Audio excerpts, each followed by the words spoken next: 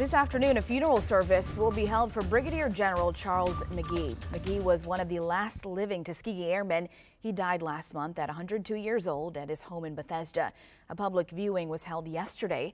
McGee flew more than 400 fighter combat missions, fought in three wars, and later helped bring attention to racism against black pilots. A service for McGee at Arlington National Cemetery has not yet been scheduled.